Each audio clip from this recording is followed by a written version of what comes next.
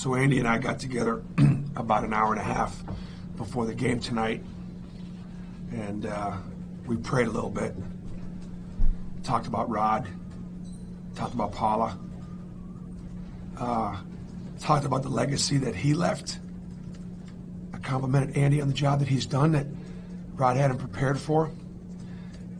We both miss him. We all miss him. We know he's in a better place. And, um, you know, we we talked about this. Uh, you know, this was going to be a, a, time when we just were going to uh, celebrate him, remember him. You know, and uh, I know you guys all miss him too. Um, this was one of the most challenging scouts for an opening game uh, that I've had in a long time. Um, you know, the, the five seniors all playing new roles. And with the eight newcomers, I thought about this today. Devan Cambridge didn't come till August. Neither did Stretch. Tyrell Jones a, came in with a broken leg.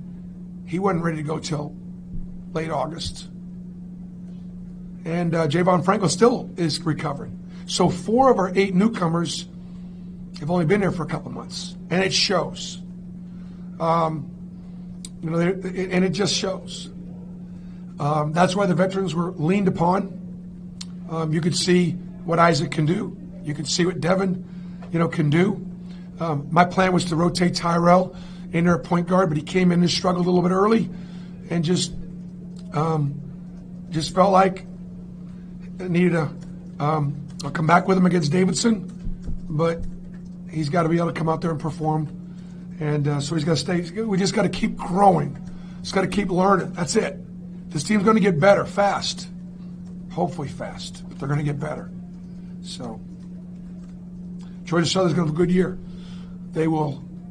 South, South Alabama, Georgia Southern got real shots to win the Sun Belt. So uh, Davidson on Friday, just real quickly. I don't know how many 20 win seasons that they've had. Uh, Davidson's absolutely a team and a, a, program you don't you don't schedule. You stay away from Bob because one of the best coaches in the country. Period. The end. They shoot the three. They're veteran. They bring everybody back. It'll be a, it would be, it's going to be a great challenge for us. And then of course we go to South Alabama one week from tonight, and there are still about a thousand tickets available. So our Auburn fans in L.A., Lower Alabama, the reason why I'm going down there to play them is because you guys said if I came down there, you'd buy tickets and come watch us play.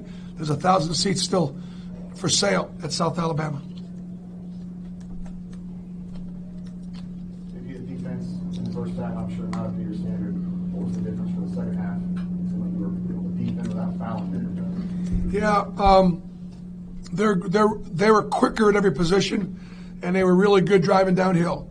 Um, and so, uh, guys uh, gave them too many direct line drives, didn't compete to stay in front, um, and as a result, they, they, they had their way with us.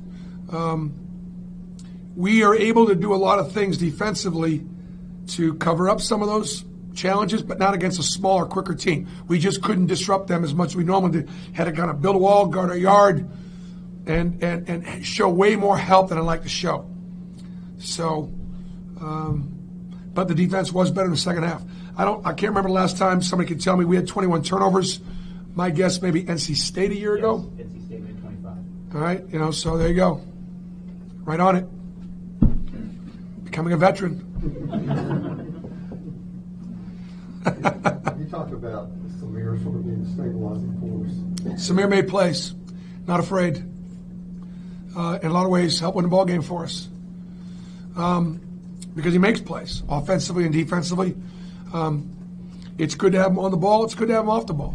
Um, I thought he had great composure and gave us great confidence.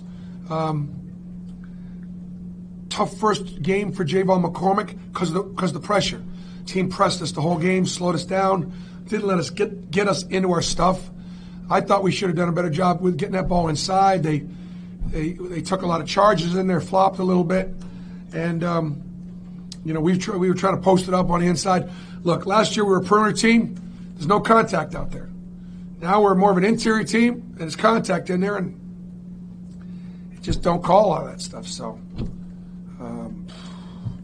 frustrating. With that said, with J'Von, uh, seemed like he still kind of stayed in the game and made some big plays late for you guys. It helped. He did. He did. Um, growing a little bit of growing pains. Um, probably felt a little bit more pressure, um, but he was effective getting to the basket. He turned the ball over a little bit early. Got again got disrupted. They they switch almost everything, and that really makes what you do, um, you know, defensively difficult. But he, like you said, he made winning plays down the stretch. Everybody good? Thanks, guys. Yep. Thanks.